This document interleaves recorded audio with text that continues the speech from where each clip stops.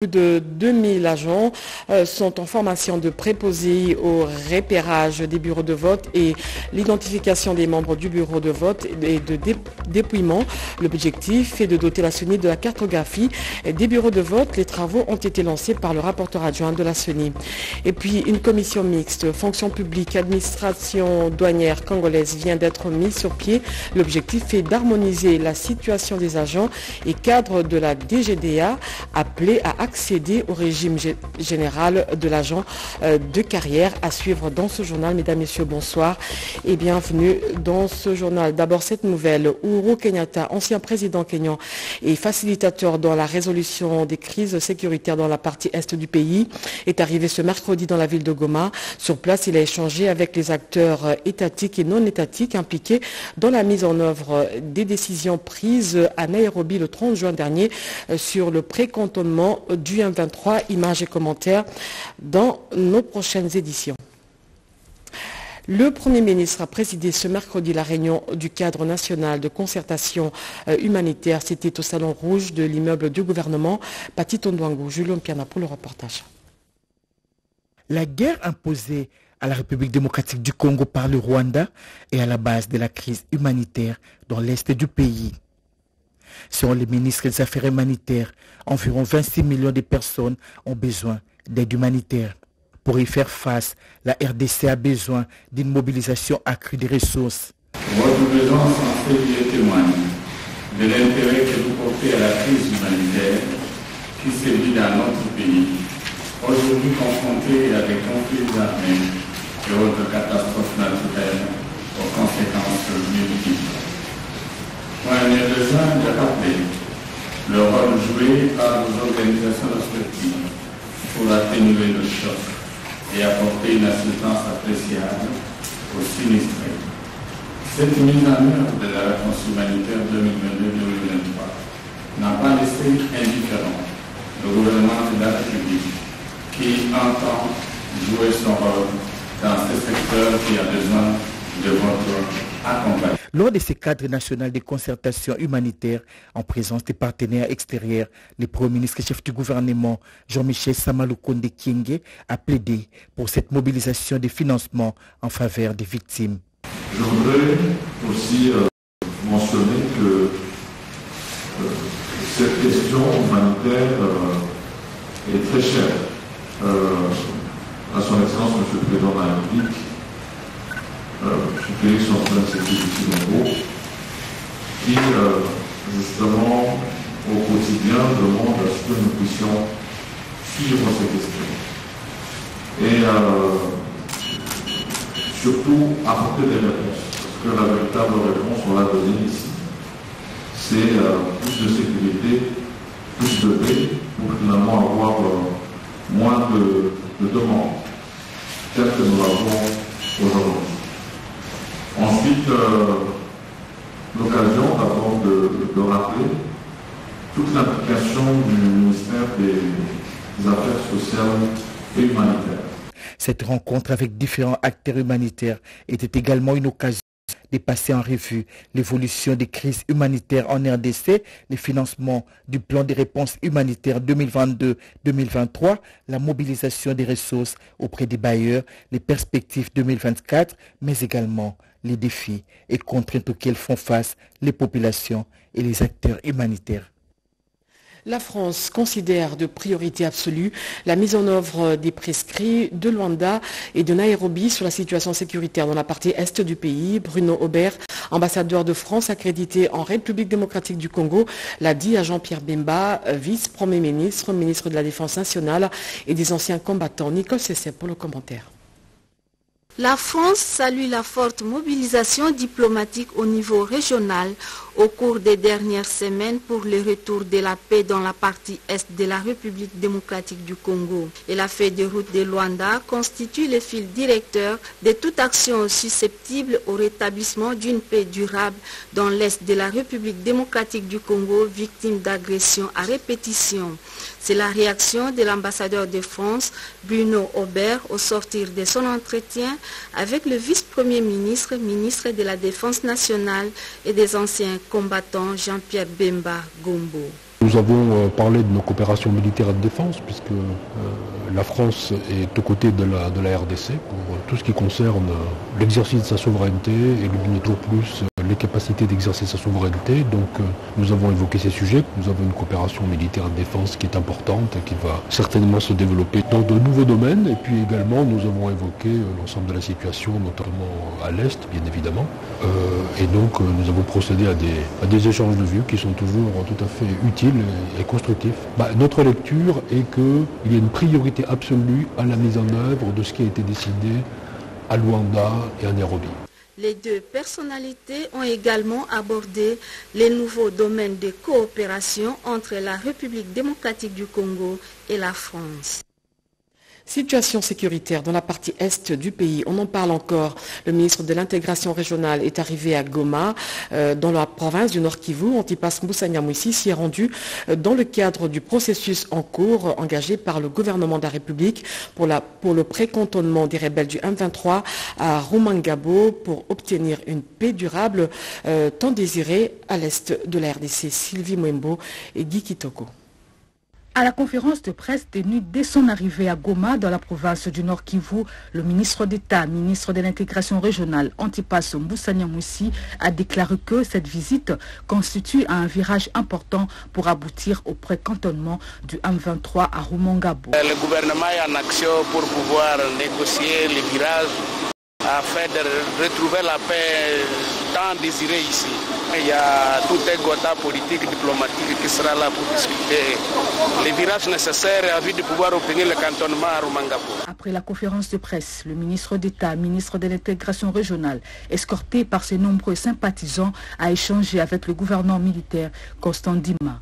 À l'issue de leurs échanges, les deux personnalités n'ont pas fait des déclarations à la presse, mais l'on croit savoir que le gouverneur a brossé à l'intention de son hôte la situation sécuritaire dans la région.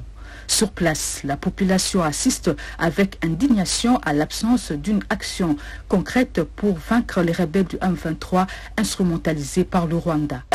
Nous sommes menacés, nous passons toujours à la grande rwandeuse qui nous menace jusqu'aujourd'hui.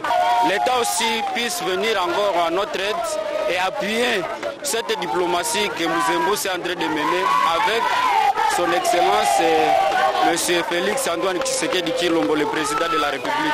Le ministre d'État, ministre de l'intégration régionale, se bat pour que la force régionale de l'EAC soit plus offensive.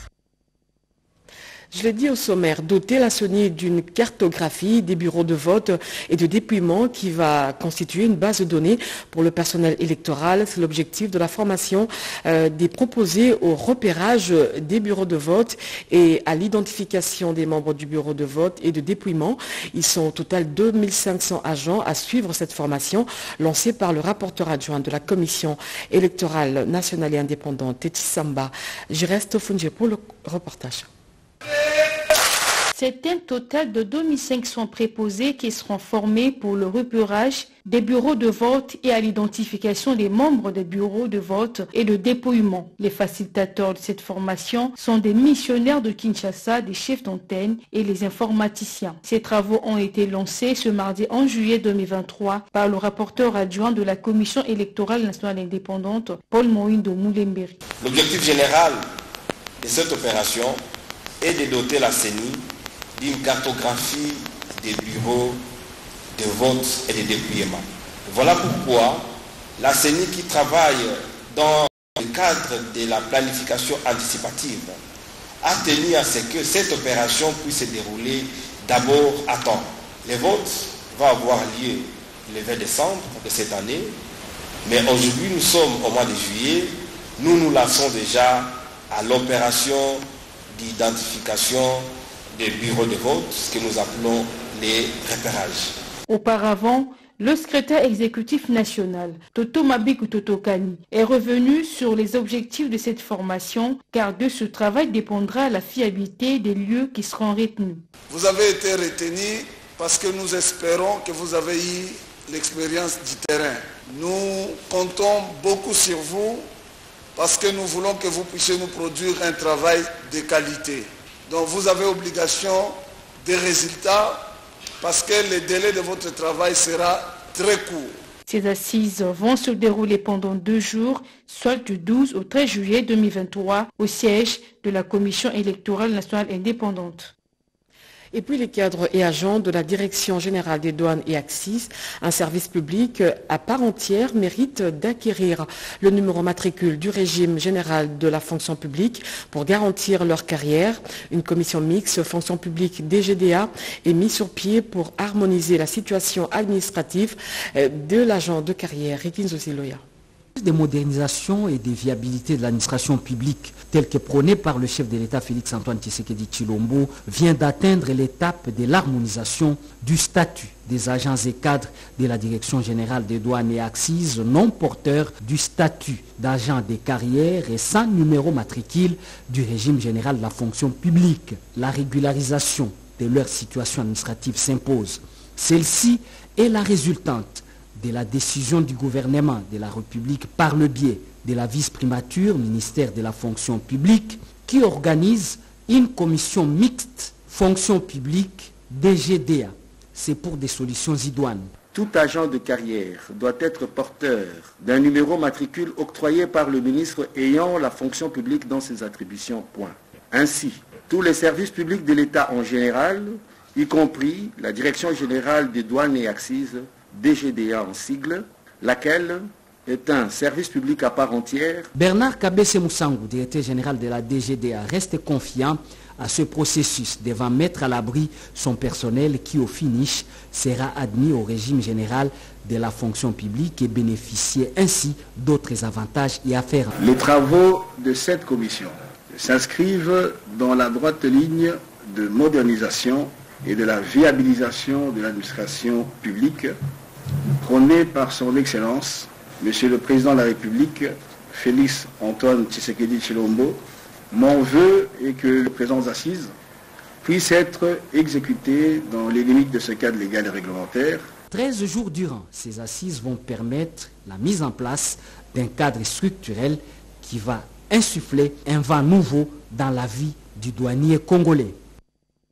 Je l'ai dit tantôt, Uhuru Kenyatta, ancien président kenyan et facilitateur euh, dans la résolution de la crise sécuritaire dans la partie est du pays, est arrivé ce mercredi dans la ville de Goma, euh, dans la province du Nord Kivu. Sur place, il a échangé avec les acteurs étatiques et non étatiques impliqués dans la mise en œuvre des décisions prises à Nairobi le 30 juin dernier sur le précantonnement du M23.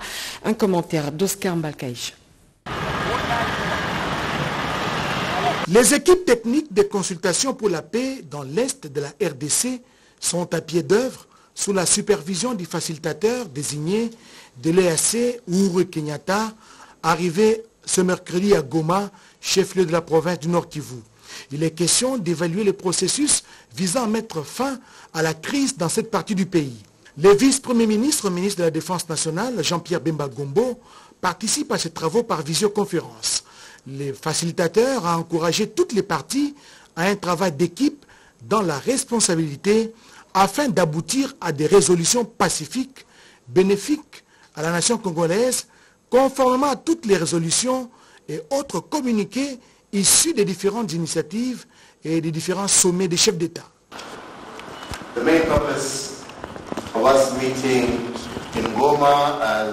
L'objectif principal de cette réunion de Goma c'est justement la continuité de ce que nous avons commencé à Nairobi. Ce processus de paix, c'est pour la population congolaise. Organiser cette réunion à Goma, loin de la capitale de la RDC, je pense que c'est un signal fort pour qu'ensemble nous puissions travailler pour des solutions pacifiques.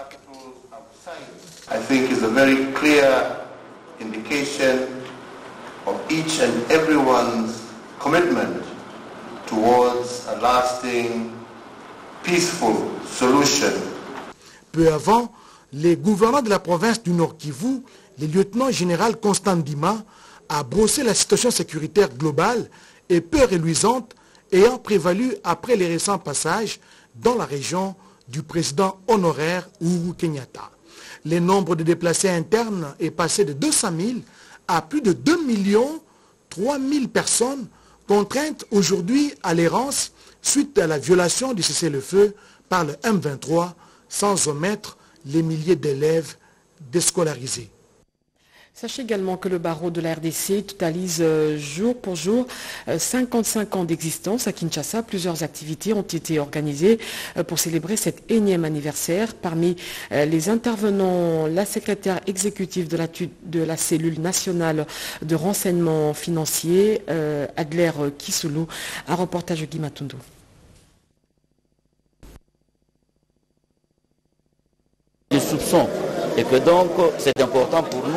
d'être euh, euh, euh, formé. Parce qu'en ce moment-là, l'avocat sait à quoi il doit s'en tenir. Adler Kisula en appelle à la collaboration de l'Ordre national des avocats dans cette croisade contre le blanchiment de capitaux. Pour quitter cette liste, c'est une affaire de tous. Nous avons l'obligation de communiquer. C'est pourquoi j'ai apprécié l'invitation de nationale. Parce que quand on parle à un avocat, on parle de cette personne. Alors, quand je vois les noms ici, multipliés par vos différents clients et membres de famille, je pense que vous allez bien expliquer la situation que le pays est en danger. C'est pourquoi nous sommes devant remettre l'obligation de vigilance. Cette commémoration des 55 ans d'existence du barreau congolais s'est déroulée dans 25 des 26 provinces du pays. Patrick Mouyaya, ministre de la Communication et Médias, a eu des échanges avec euh, la nouvelle délégation syndicale nouvellement élue de la RTNC. Les deux parties se sont entretenus sur les différents en rapport avec la situation euh, des conditions socio-professionnelles des agents et cadres de la chaîne nationale. Gaëtan Magalano pour le reportage. Deux échanges autour de problèmes qui dérangent ces médias publics depuis plusieurs années entre le ministre de la Communication et Médias, porte-parole du gouvernement, et la nouvelle délégation syndicale de la RTNC.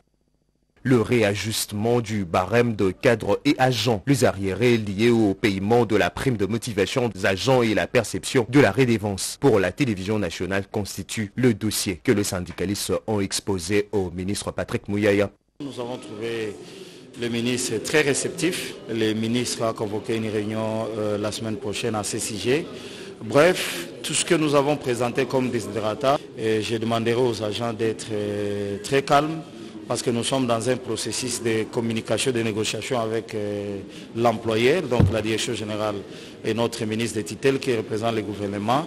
Une fois que cette série de négociations va prendre fin, nous allons revenir chez eux pour faire le compte rendu par rapport à l'acquisition de matériel de la RTNC coïncidant avec la 9e édition du jeu de la francophonie, René Kalonda représentant le syndicaliste s'est réjoui et félicite Patrick Mouyaya pour cette acquisition de équipements modernes. Nous disons merci au Premier ministre, au, Premier ministre, au gouvernement, au ministre de la Communication, à la Direction générale pour euh, cette acquisition. René Kalonda a profité de cette occasion pour dire à tout le cadre et agents dissimulés à travers le 26 provinces qui compte la RDC qu'il est en communion avec eux. 50 ans déjà depuis que l'Institut facultaire de sciences et de l'information euh, de la communication célèbre euh, son jubilé d'or. Plusieurs activités euh, sont prévues à cette occasion. Le président de l'amicale ancien ISTI, IFASIC, a rencontré ce mercredi la directeur générale de la RTNC pour solliciter l'accompagnement de la chaîne nationale. Sozingoy pour le reportage. Il y a ceux qui l'ont fréquenté à l'époque de l'ISTI, Institut des sciences et techniques de l'information, et d'autres lorsque l'ISTI est devenu IFASIC, Institut facultaire de sciences de l'information et de la communication. Mais dans tous les cas, cette grande et première école du journalisme en RDC a totalisé 50 ans depuis qu'elle a été créée le 28 mai 1973. Dans son parcours, Isti Ifasik a également une histoire avec la radio-télévision nationale congolaise. La majorité de ces journalistes sont des produits de cette institution universitaire.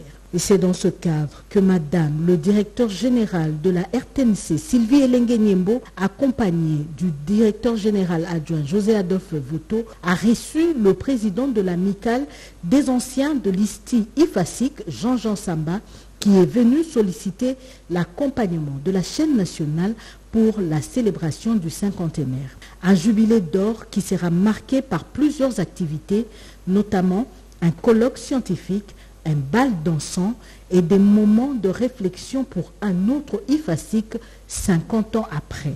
Disons que l'IFASIC, plus que jamais, ne sera jamais une grande école, une école d'excellence de, formation dans le métier de l'information et de la communication, sinon si l'IFASIC n'a pas une infrastructure conséquente. Il faut qu'au minimum l'IFASIC ait un campus, c'est-à-dire avec des infrastructures des studios, des amphithéâtres. Il faut que l'État congolais voit dans quelle mesure il peut faire venir des partenaires techniques et privés afin que l'IFASIC dispose dans les 50 ans à venir d'une infrastructure conséquente. Sylvie Elengenimbo, également produit de l'ISTI IFASIC, se dit honoré par la démarche des anciens de l'IFASIC. Par ces échanges, tout laisse à croire que les activités du cinquantenaire seront des moments riches en souvenirs, en émotions et en projets. Pendant quatre jours, les services et départements euh, de la présidence de la République vont discuter sur les prévisions budgétaires. Exercice 2024, la cérémonie d'ouverture a été présidée par le directeur de cabinet adjoint du chef de l'État au collège, au collège Boboto. Blandine Zovo pour le reportage. Il s'agit d'un acte de prévision qui permet à chaque service dépendant directement de l'institution présidence de la République de présenter et de défendre ses prévisions budgétaires pour l'année prochaine. Le cinquième et dernier exercice de la première mandature du chef de l'État Félix Antoine Tshisekedi Chilombo au sommet de la RDC. La démarche s'inscrit en conformité avec l'article 12 de la loi relative aux finances publiques et à la circulaire contenant les instructions relatives à l'élaboration de la loi des finances exercice 2024. D'une manière générale, nous allons rappeler que nous, à la présidence de la République comme administration, nous accompagnons l'institution président de la République qui est la toute première de notre pays. L'objectif aujourd'hui, c'est de réunir tous les services de la présidence de la République, de collecter les éléments nécessaires pour l'élaboration du budget de la présidence de la République 2024. Dans son mot d'ouverture, le directeur de cabinet adjoint du chef de l'État en charge des questions économiques et financières, André Wamisso, a relevé deux points majeurs ayant significativement marqué et même déréglé l'exécution de certains objectifs au niveau des différents services. Il s'agit notamment, sur le plan politique et sécuritaire, de l'agression dont fait face la RDC face à son voisin, le Rwanda, et sur le plan économique, le niveau élevé de l'inflation mondiale, illustré par les effets de la guerre russo-ukrainienne, sans oublier l'héritage des trois années de la pandémie de Covid. Man David Kiala, conseiller au collège ECOFIN, nous en dit plus. Il faut rappeler que ce budget est marqué par un contexte de ralentissement de la croissance économique, mais aussi par la baisse de cours de matières premières. Mais aussi, il faut retenir une chose, que nous sommes en plein programme économique du gouvernement avec le Fonds monétaire international. Et c'est dans ce contexte-là que nous sommes en train d'élaborer cette loi. Au cours des quatre jours consécutifs des travaux, soit du 12 au 15 juillet 2023, la haute hiérarchie du cabinet présidentiel exhorte les responsables de chaque service au réalisme dans la présentation des prévisions budgétaires, des prévisions qui devront refléter les ambitions de soutenir les actions du chef de l'État Félix Antoine Tshisekedi Chilombo. Dans le territoire de Mwanda, 18 infrastructures sont en pleine construction, dont 10 centres de santé et 7 écoles primaires, en mission d'évaluation du niveau d'exécution du programme de, développement local des 145 territoires dans la province du Congo central. La ministre d'État euh, du plan a inspecté quelques travaux dans la cité côtière. Françoise Bouela, Pompomba, nos envois spéciaux. Lundi 10 juillet 2023, la cité côtière de Mwanda rend les honneurs devant les bureaux de l'administrateur du territoire. C'est ici, au chantier du nouveau bâtiment administratif, que la ministre d'État, ministre du Plan, choisit pour amorcer l'évaluation du PEDEL 145 territoires dans ce coin du Congo central. La charpente est mise en place. Les explications sur l'évolution des travaux sont fournies durant la visite du membre du gouvernement Jean-Michel Samalou Kondé, accompagné de Alain Lungungu, coordonnateur de la CFF, agence d'exécution. Au centre de santé de référence Makele Kessé, la patronne du plan est accueillie par un personnel enthousiaste. Nous sommes dans une joie énorme. C'est ainsi que nous implorons l'Éternel Tout-Puissant de bénir le chef de l'État pour ses efforts vers le salut social de la population. Les travaux de construction de ce centre ont pris du retard. Judith Soumi Toulouka rappelle le respect du contrat. Je constate que les, travaux euh, avancent, même si euh, ici euh, à Mwanda, on a constaté quand même un petit retard par rapport au chronogramme qui a été établi. On a discuté aussi avec l'entreprise Cartouche pour assurer en fait qu'ils respectent les délais et qu'on puisse avoir pour le 31 juillet tous les chantiers rendus. Sinon, c'est eux qui vont avoir les pénalités parce qu'il y a un contrat qui, doit être respecté. À l'école Ep1 Sumbu Makumbu, la population admire l'évolution des travaux. Des parents impatients de voir leurs enfants accéder dans des classes plus modernes grâce au programme de développement local des 145 territoires voulu par le président de la République Félix-Antoine Tshisekedi qui a des effets d'entraînement sur l'économie locale. Le parc agroalimentaire de Bukangalunzo peut-il de nouveau euh, revivre? Les petits agriculteurs y croient. C'est le cas de l'Union des associations des enfants, des militaires et policiers qui ont valorisé une partie de cette terre. Les détails avec Cédric Kenina. Évoquer Bukangalonzo, c'est faire allusion à une naissance et une mort précoce. Un amas de ruines qui laisse sans voix. Des étendues à perte de vue sans produits agricoles, dans l'idée de plaider auprès du chef de l'État pour une renaissance de ces parcs agro-industriels, l'ONG Union des enfants des militaires et policiers au Congo, UMPC, avec peu de moyens, a redonné en partie vie à cette étendue de terres agricoles. 11 hectares sont aujourd'hui occupés par les maïs. 6 silos de 20 000 tonnes de maïs installés, de quoi amortir les chocs pendant 5 ans. Sa présidente, Saïdi Moyouma Francine, a échangé avec les autochtones et autorités coutumières pour lancer ces projets agricoles pilotes qui répondent à la pénurie constatée des farines de maïs dans le pays. Tout est conditionné selon les règles. La farine de maïs béton pour le peuple, Nzala Isili, est un modèle de l'industrie agricole locale qui a énormément besoin de l'appui du chef de l'État Félix Antoine Tshisekedi à travers sa vision, le peuple d'abord. Oui, c'est possible pour relancer les parcs agro-industriels de Bukangalonzo. Propos de la présidente de l'UMPC, Saïdi Moyouma Francine, convaincue du retour de Bukangalonzo. Les moments de la récolte étant arrivés, les produits de ce vaste espace seront bientôt sur le marché à un prix abordable, plus ou moins 15 000 le sac. Évaluer les prestations de l'Office de contrôle congolais, élever des options pour l'Office, un établissement de contrôle de conformité sur le marché international. C'est l'objectif poursuivi par l'OCC qui a organisé un atelier auquel a pris part euh, tous les hauts cadres venus des différentes provinces. Jacques Mégé pour le reportage. Réunis dans la salle La Perle de Sainte-Anne du restaurant Zamani, le chef de département centraux, le directeur provinciaux et le chef des différentes agences vont pendant plusieurs jours évaluer le plan d'action de l'Office congolais de contrôle pour le premier semestre de l'année en cours. C'est le directeur général de l'Office congolais des contrôles, Étienne Chimanga Mutombo, qui a ouvert les travaux.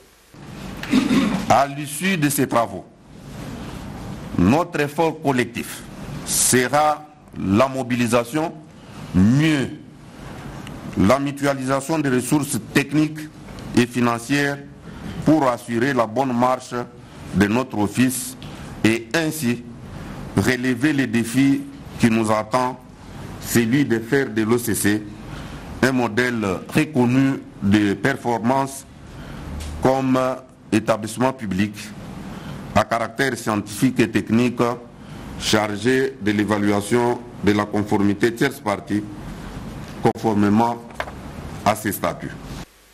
Pour le directeur général de l'OCC, Étienne Chimanga Mutombo, l'Office congolais des contrôles doit se surpasser pour faire face aux enjeux économiques mondiaux de l'heure, notamment s'imposer sur le marché de la zone de libre-échange continentale africaine en tant qu'un établissement modèle de performance pour l'évaluation de la conformité aux normes des importations, exportations et la production locale.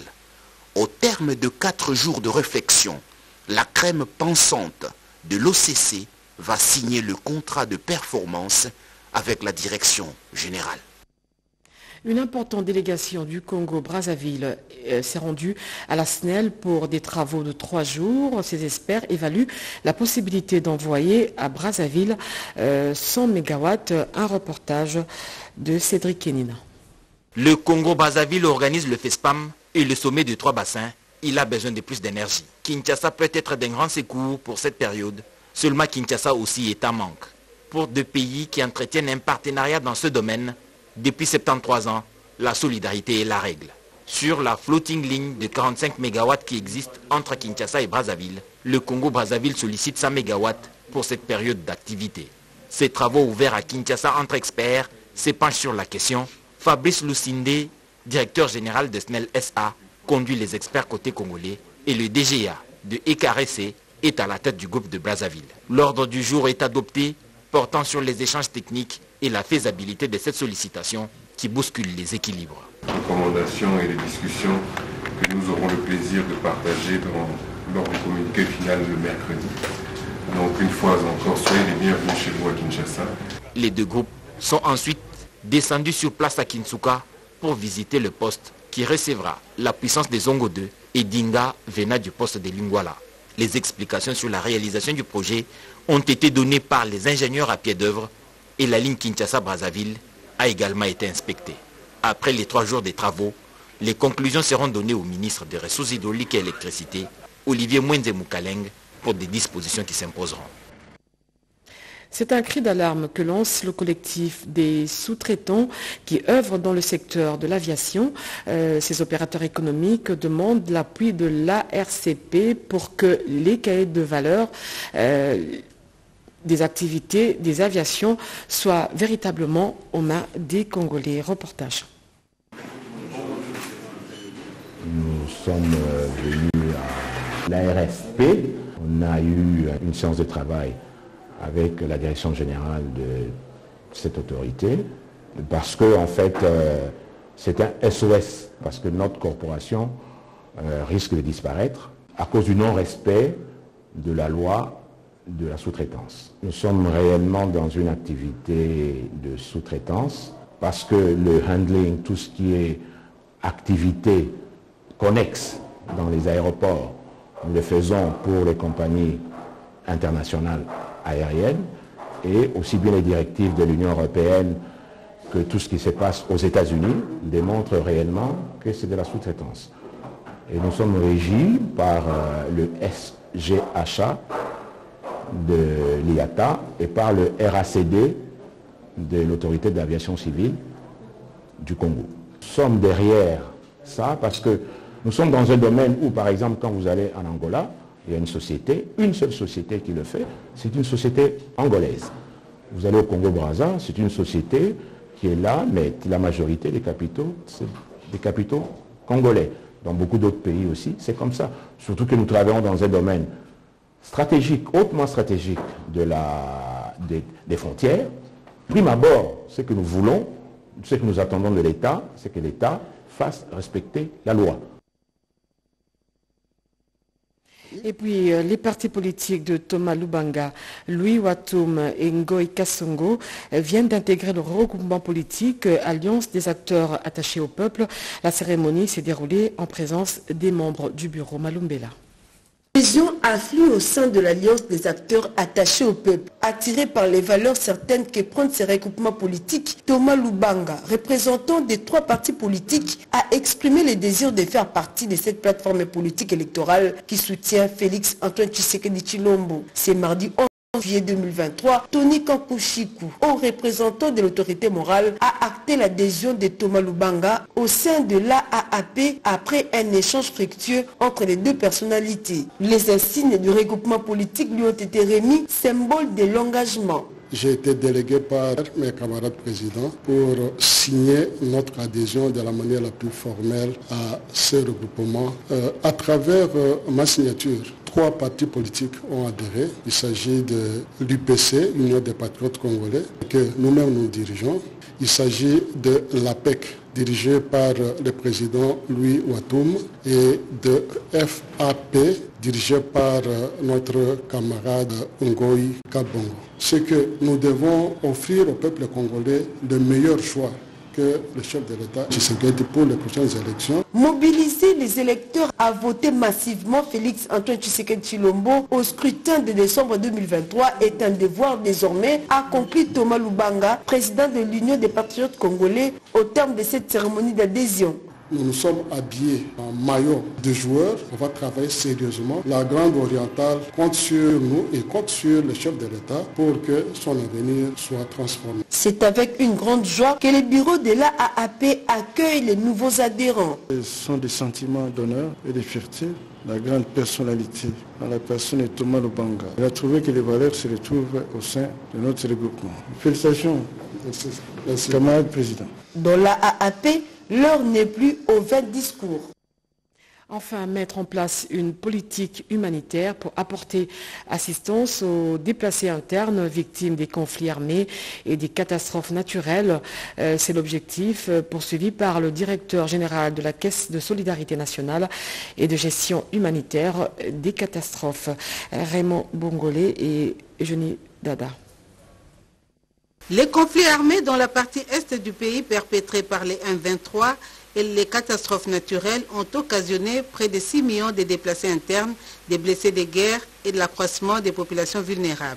Face à cette crise humanitaire, le directeur général de la Caisse nationale des gestions humanitaires des catastrophes, Raymond Bongolé Efoya, nommé par ordonnance présidentielle, est décidé plus que jamais à mettre sur pied une politique humanitaire qui va apporter des réponses à impact visible à la crise humanitaire qui frappe de plein fouet la République démocratique du Congo. Question de matérialiser la vision humanitaire du chef de l'État, Félix Antoine Tshisekedi Chilombo. Je remercie le président de la République, chef de l'État, pour avoir jeté son dévolé sur moi. Notre pays, la République démocratique du Congo, est confronté à une crise humanitaire de très longue durée où nous avons plus de 6 millions de personnes déplacées internes. Nous avons de multitudes et de milliers de familles qui vivent en errance et qui, qui manquent de tout. Donc, euh, il a fallu au gouvernement de la République, à travers son Excellence, Monsieur le Premier ministre, de créer la caisse pour que la caisse soit le mécanisme du gouvernement pour mobiliser les ressources qui devraient soutenir la réponse humanitaire du gouvernement à travers les actions qui seront menées sur le terrain.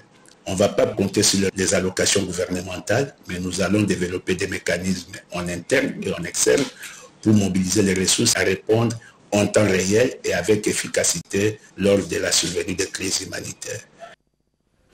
Et puis ce communiqué pour boucler complètement ce journal. la direction générale de la DGCDI, direction générale des corridors de développement industriel, remercie le chef de l'État, Félix Antoine Tshisekedi Chilombo, pour le renouvellement de sa confiance ses mandataires. Elle réitère son engagement et sa détermination pour que cet établissement public joue sa partition dans l'industrialisation de la RDC, la DGCDI étant un instrument de développement et d'intégration économique nationale et régionale, promet son expertise dans la matérialisation du plan directeur d'industrialisation de la RDC. C'est un, un, communiqué signé Judé Badibanga Kabongo, directeur général.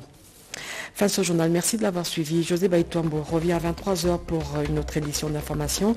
Demain, vous allez retrouver Sandra Nyangui qui viendra vous informer. Moi, je vous dis au revoir.